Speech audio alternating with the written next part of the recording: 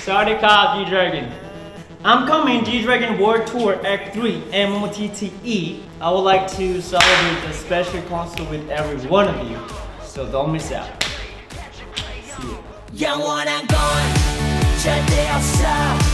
See ya.